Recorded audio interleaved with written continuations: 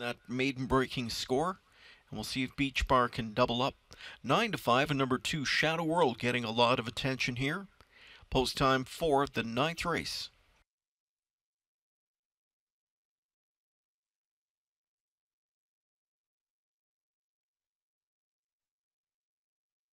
Ninth race field picks up speed.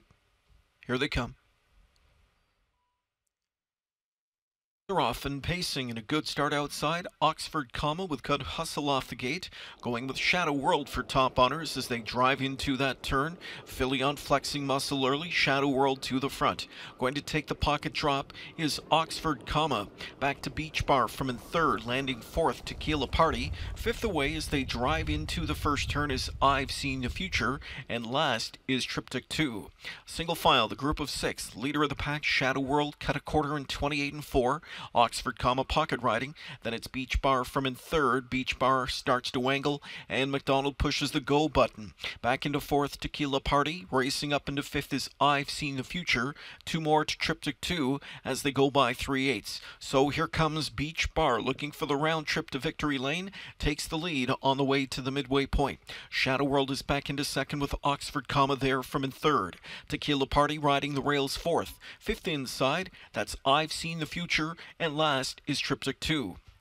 58 and 3 that first half, second split of 29 and 4, heading into the far turn chasing the chalky beach bar. Shadow World is second, now up and driving Oxford comma from in third. That gives cover to I've Seen the Future, spotting it second up from in fourth, traveling inside fifth Tequila Party, and overland from in sixth is Triptych 2.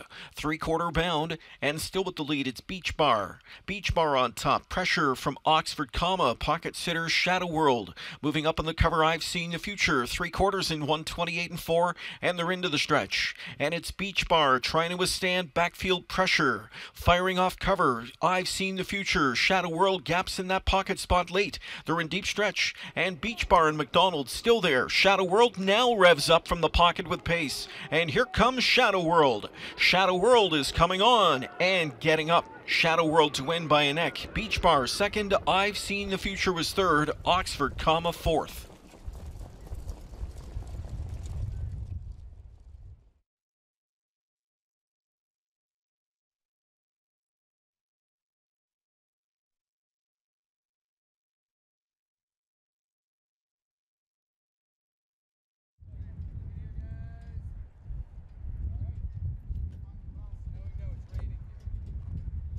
Here's a look at the winner of tonight's ninth race, number two, Shadow World, three-year-old Shadow Play filly out of the Rock N Roll Hanover Mare, North Party Time.